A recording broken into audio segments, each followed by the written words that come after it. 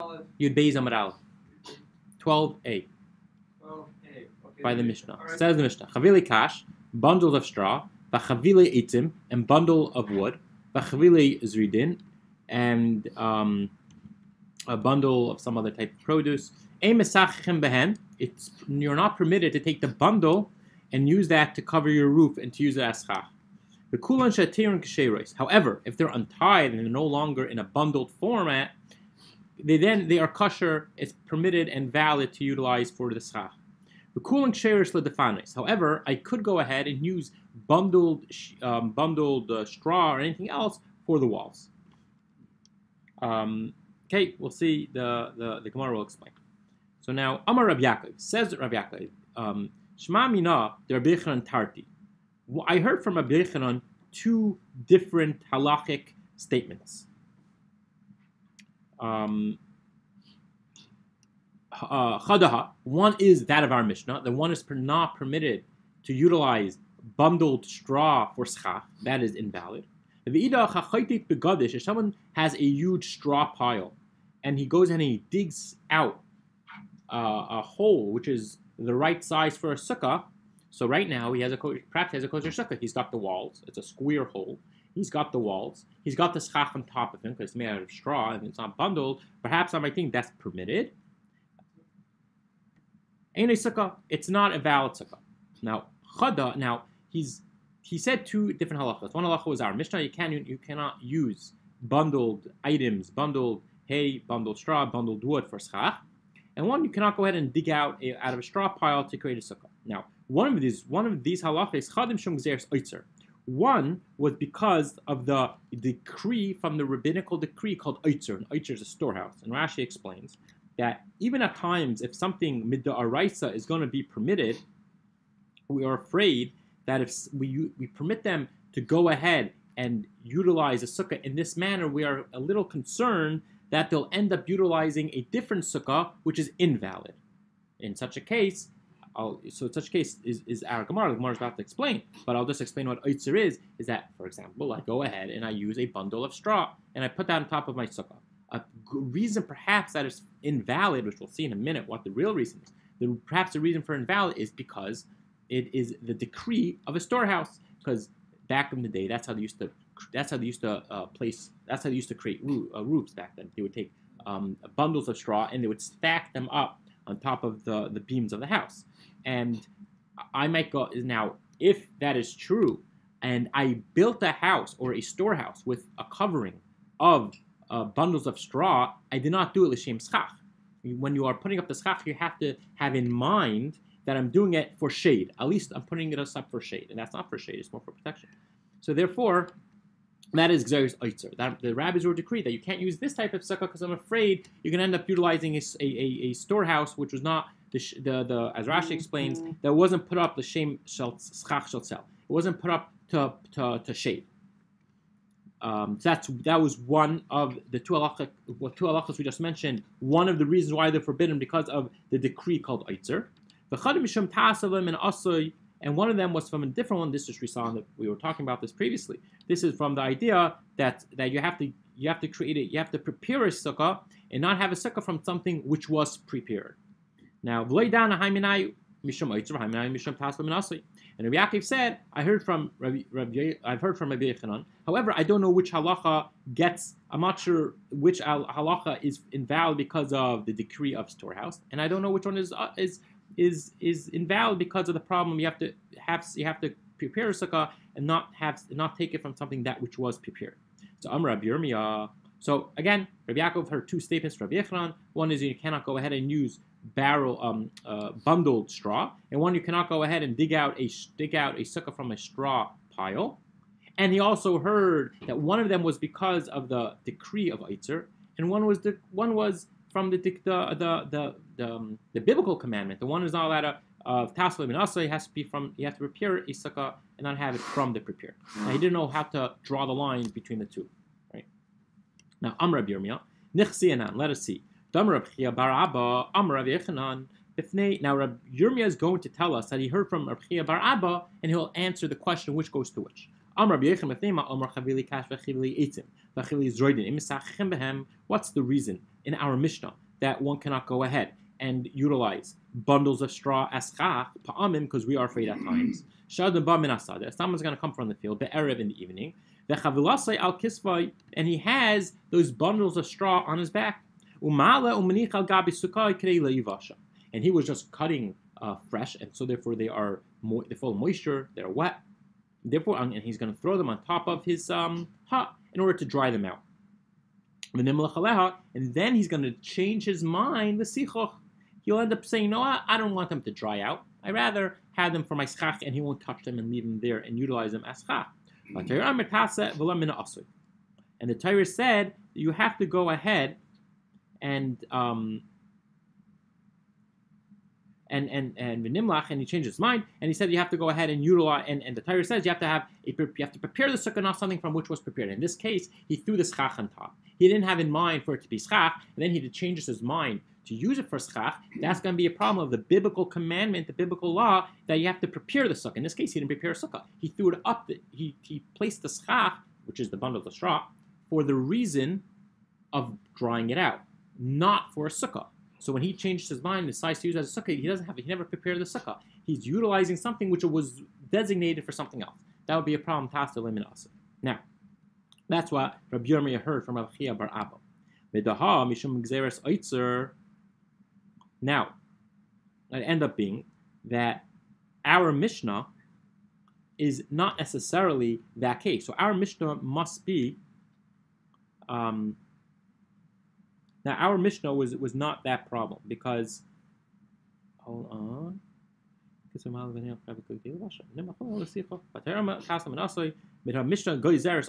our Mishnah is going to be the problem of um, the the, uh, the problem with our Mishnah is going to be um, the gezer of Eitzer. It must be left out that the digging out is going. The problem, the second halacha, which Rabbi Yechanan stated was that one is not allowed to dig out uh, from the straw and create a sukkah, that is going to be a problem of tasa veloy min ha'asoy. Um, hold on.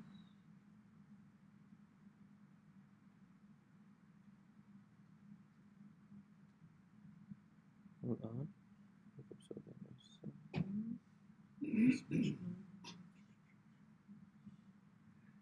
Yeah. Now, the you might be asking that it seems really our Mishnah is the problem is Tasav and Asui. It seems like that's our case. Our Mishnah, the guy comes home, he throws the schach on top, he decides to dry it out, he changes his mind, and he's going to utilize it as a sukkah without touching the schach. And the Torah specifically says it's a problem with Tasav Lemin Asui. This problem of preparing it, uh, you have to prepare and not something which was prepared. So our Mishnah is a problem.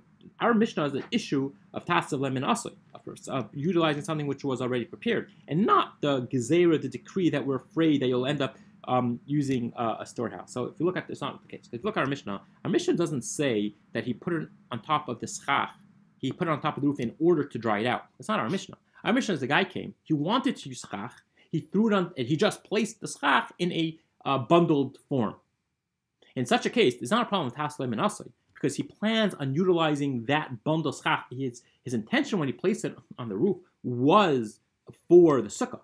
So our our Mishnah is not the issue of tasalim and asui. They have to use something which was prepared. Uh, you have to prepare, not to utilizing something which was prepared. The only issue with our Mishnah is gezeir's oitzer, that we're afraid that you'll come to utilizing a um, a storehouse, which wasn't which was the roof was set up was set up not to not for schach. Rather, uh, it was it was not set up for the shem schach, and that is gzeir's oitzer. So that means our Mishnah is a problem of gzeir's oitzer, and that leaves the digging out a hole and creating a sukkah out of a straw pile. That is a problem taslim and asoi because as I dig it out, I never place the the as I dig it out, I'm I'm not creating a sukkah. I'm just removing the inside. And when I walk into the sukkah, I already have a prepared roof on top of me. I never place the roof on top of me. I never place the straw on top for schach. Yeah. Now, uh, for our schach, we use bundles of uh, the, bamboo tied together. I mean, that's like prepared. Ah, that's a very interesting question. But it's not. It's not bundled because it's one layer, right? Maybe that's it's one layer, but maybe that's the answer. Tied together. That's a good question. I'm sure there are people that talk about it. I never thought about it. Um, what Jules is asking is that we use those mats. But I think the answer is they're mats. They're not. They're not bundles. It's not like a whole load of things put together on top. I'm assuming that will be the answer. But they're prepared. That's fine because the problem is when you place it on top of the schach. Mhm. Also, I'll give you another answer. A very probable answer is that it, was these mats were created for for for schach from the, from the onset. No, there's no there's no decree that they, they're going to throw it up there because you don't want it to dry out. There's no such decree. If you're putting a schach up there, you know if you're putting those mats up there. Um, so, Inten- So there's the intention. there. Intention. we're not, there's no there's no worry of that someone's going to put it up there without the intention to use them as schach. Those are extremely expensive. No one's buying that unless they plan on putting it up for schach. Um, now that that's a pro- possible answer. Rabbi, could be- comment. yeah. Rabbi, uh, so uh, one can buy mats at places like Home Depot that are tied with like two wires that Yeah. are circled around, Yeah, yeah, yeah. and those are considered not to be used. The ones that we buy for for Sukkot have a single monofilament line to, to tie them, because apparently that's not subject to tumah.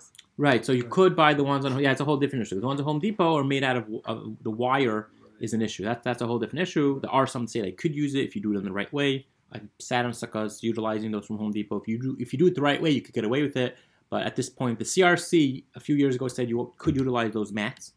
Though they're really meant for fencing. They're really fencing mats that you you, insert them through your fence in order to block out privacy mats. Um, but if you do them the right way, first of all, you have to double them over because you're not going to get enough shade if it, they're single. Uh, so you have to double them over, and you have to place and you have to place them perpendicular to the beam, so they're not resting on the metal. If you pull out the metal, they would still be there because of the beam. The UCRC used to say you're allowed to do it. They, they, they revoked that last year. There, I guess too many people are messing up with it and sitting on the pasul schach. For one should not use it. Okay, so that's what we're up to. Our Mishnah is because of when you put it up there, you put it up the shem schach, but we're afraid that you, but but since it's bundled, we're afraid that you might come to leave it up there for um, drying out or something else, and that will be a that's called serious Eitzer. And the problem of digging out is because of you are utilizing a already prepared sukkah. Okay. Rabbi Yaakov, we're on the last last thin line in Yud Beis Aleph. Rabbi Yaakov, Hach Rabbi Chia bar Abba So why did Rabbi Chia, why did Rabbi Yaakov have the ability to connect the lines between the halacha and the reason, just like Rabbi Rabbi Bar did, Rabbi bar Abba did? The answer is he didn't hear it. Okay, we're on the first uh, wide line. Amar in the middle. Amar Rav Ashi. Um, now Rav Ashi asked a question. Um, why couldn't Rabbi Yaakov figure it out himself? Atu chavile kash v'chavile eitzim shum gzeres oitzer ikum sorry, Amar Rav Ashi, he asked the following question. Amar Rav Ashi, could you really say that the the problem of of the bundles of straw is o- in our Mishnah is only because of Xeris Eitzer? It's only because of a decree that we're afraid you end up utilizing a storehouse, and not because of the biblical issue of you have to have something prepared, but you have to prepare enough from the prepare.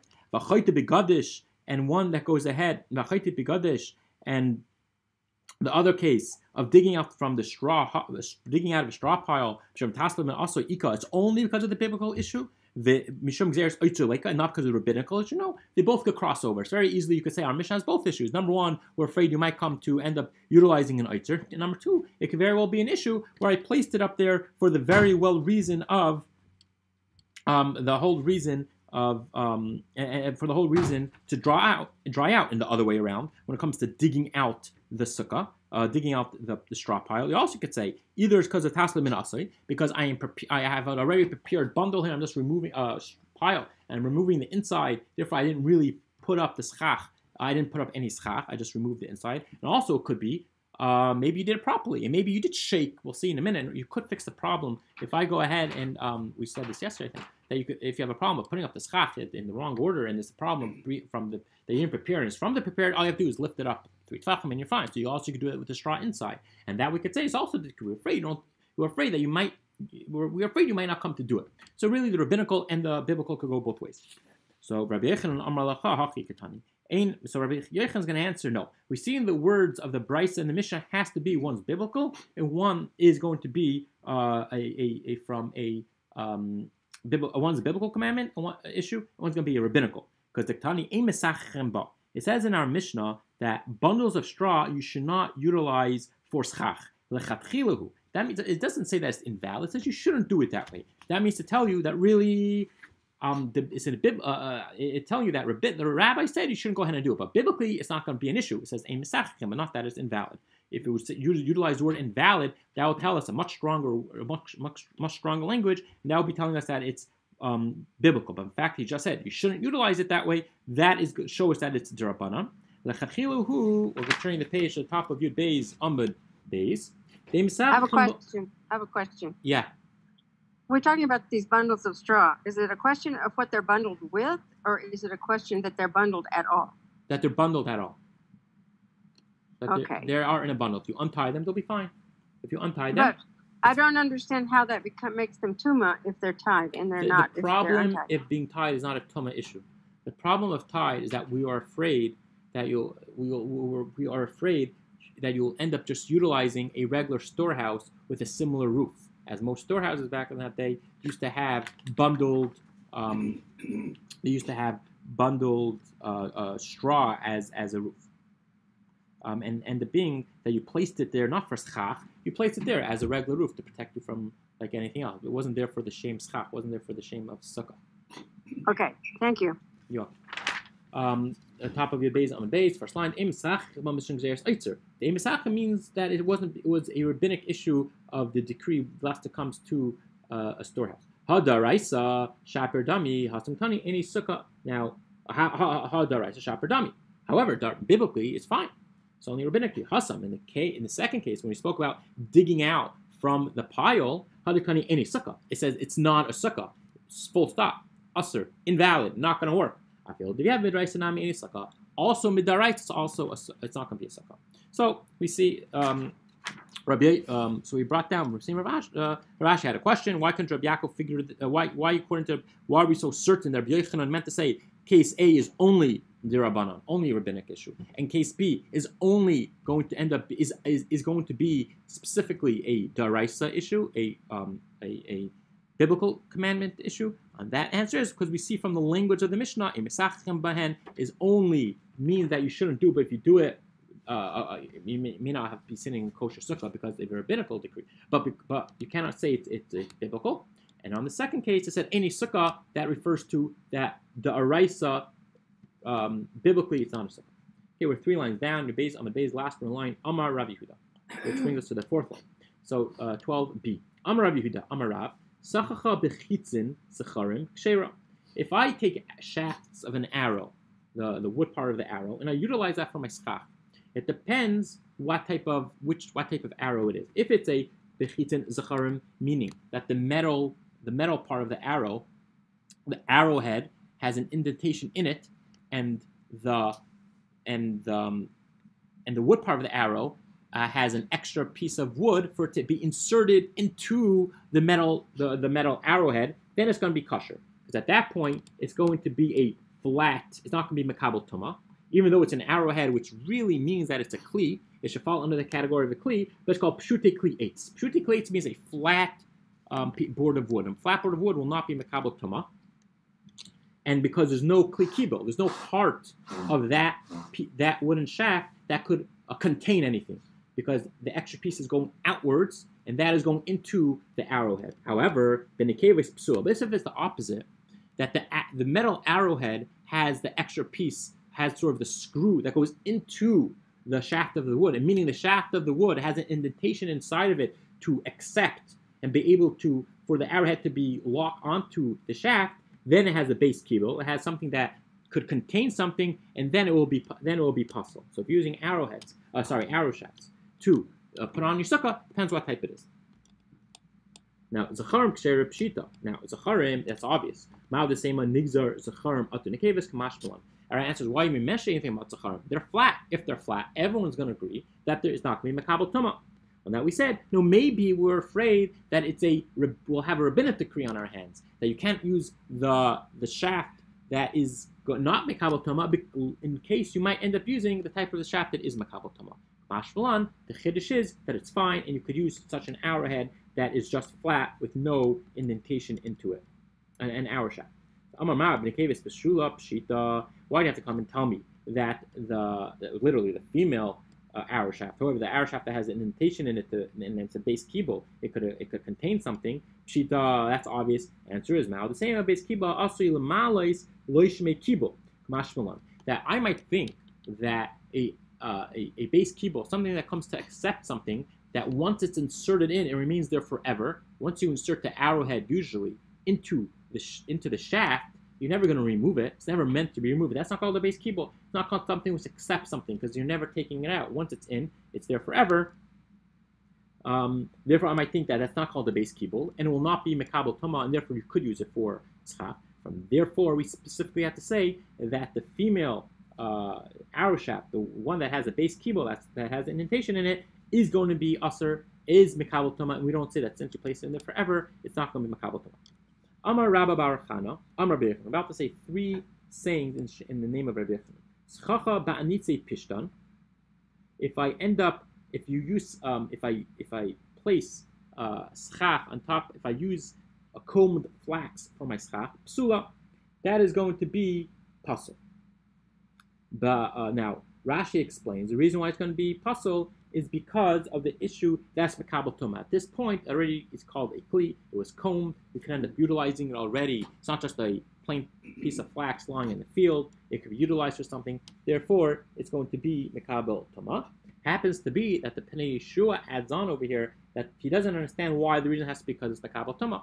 The, the Pnei Yeshua explains that perhaps the reason could be that it, you're going to, you might end up putting it onto the roof in order to dry just like we had the issue before when it came to the um, uh, we had in the previous but the previous uh, folio that, that just like as the problem is by the by the drying out the bundles of, of uh, wheat, and it makes more sense because then it would be perhaps that would be more in line with our Mishnah. But in, in any case, it is going to be pasul.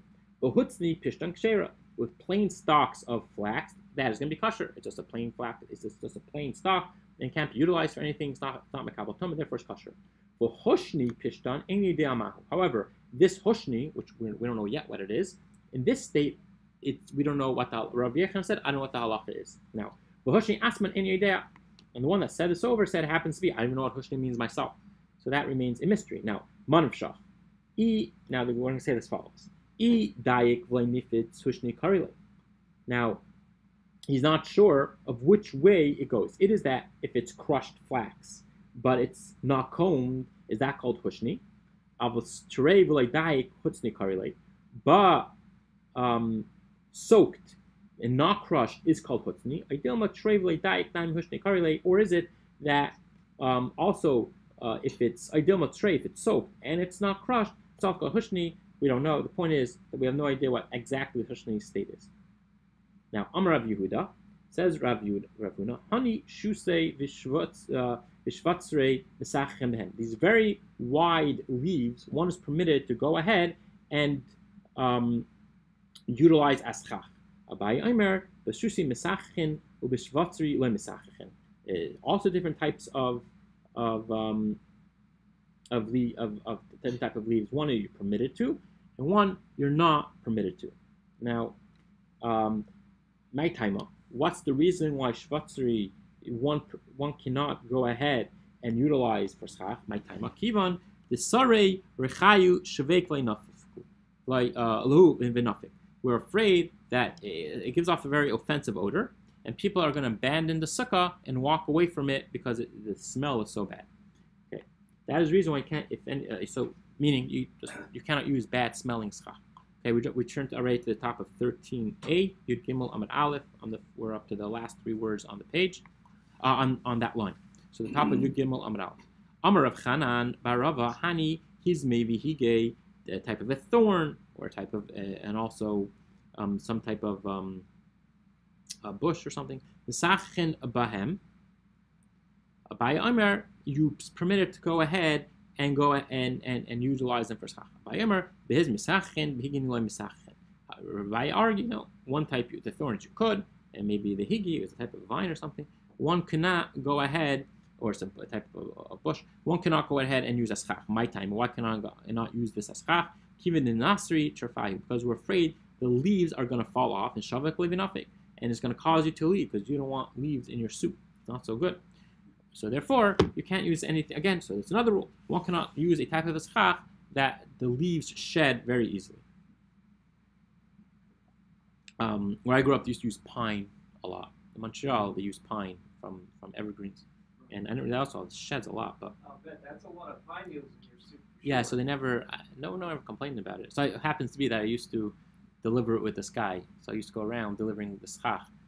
Um, and one time his daughter, and used to be in front of his house, would be piles and like be doubled. It would be, I was a little kid, it would be way above my height. Like, and used to play in it. And his daughter lost her shoe in it until it was found as it fell into one some someone's soup on Sukkot. So okay, Amar Rav Gidel Amar Rav. So Rav uh, says Rav Gidel says Rav. Hu afakusa the dikla. Uh, these are the offshoots of the palm of a palm tree, meaning uh, at the on the bottom of the palm tree there would be these shoots that come out, and they would really and like a lulav, and they're bundled on bottom. They're all connected on bottom. Misach and behu is permitted to go ahead and utilize them as chach. Af gav, even though that Even though we have a problem here, they are uh, they're they're they're they're bond they're bound they're bond they're bounded by, naturally by themselves. They're bound, and we said something which is bound can't use a chach. But since it's not you, it's not from a human hand that bounded them, rather it's from nature. It's permitted, and also afgav the hadar agadlu igid bechad loy shmei um loy shmei agad, and um and also that something which by itself is bound together is not called bound until you take something else and you end up adding it to it. Amrav Chesta, Amravina, Bar Shilna, Hani Dukri Dekani. It's also two type of reeds that grow together from the same stock. Even though they're combined, still it's not a problem because they're bound naturally. The same thing that um, since it's it's together, it's bound together as one, and is bound by itself. It's not called being bound until that's called only called bound until you end up adding an additional item to it. Tanya Hachi Kinim v'doikrin misachim behem reads, um, and doikrin is the reads that we mentioned before. Is permitted to use as chach. Kinim pshita. Uh, kanim is just reeds. Of course, you're permitted to utilize that. Meant to say is that the reeds of this doikrin because they grow together, they grow bound, naturally it's permitted to use the as chach. The Amar Chesta Amar Avina Bar. Hani Mirirsa de Agma, these bitter herbs of, uh, of the march of, of, of the swamplands, the marshlands, one is permitted to use them as marar on Pesach. Now, on that, we have a question. Meisvei, Azov. Now, the Azov was the um, whenever it says Az- Azov, it means that it should be bound together. You have to take a bunch of things and bind them together. Right? This was by the Para Aduma, uh, and now we learn from there. Azov like Azov Ya- Yavin. You has to be a uh, whatever the Azov is, but not the Haisip or something. The Azov, but not a Greek one. Azov Kaichli, and not from a different country. Azov Midbari, and not the Arabic one or the desert one. Azov Roimi, or the Roman one. Azov Sheish Shem Leva, or any type of Azov that has an additional name to it. You have to get the type of um, the type of foliage that is called Ezav, and that's it. That is what you have to use for the Paraduma. So now we have a question: How could the Marasa de Agma, the bitter herbs of the marshlands, be allowed to be used for uh, Marar? It has an additional name to it, and just like by the by the by, by what by the Paraduma, the branches by the Paraduma, it couldn't have any an additional name to it. Same thing should apply to the uh, anything we had an additional name added onto it is forbidden. We should have the same thing by the mar. So we have two. We have a few. We'll see. Well, at least one answer. Amar Baya. The answer is Kol Nishtan Shmai Koidim Matan Taira Uba Ayisa Taira Hevik Pido Leha Bidu Eshes Shem Levaya. That anything that had a name added to it prior to the Torah being written, when the Torah says it has to be this item, it has to be that item, and specifically that item and nothing else. So when it came to the Eziv, it had to be a specific Eziv and not an Eziv Raimi and not a Greek one and anything else that had an additional name to because all those names were applied to it before the Torah. So the fact that the Torah pointed out it has to be this, it's got to be that.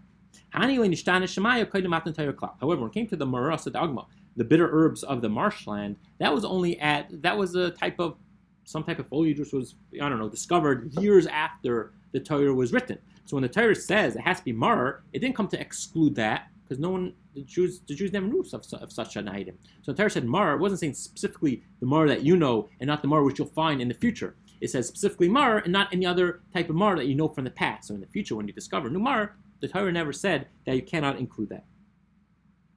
Um, okay, now says Rava. That's one answer.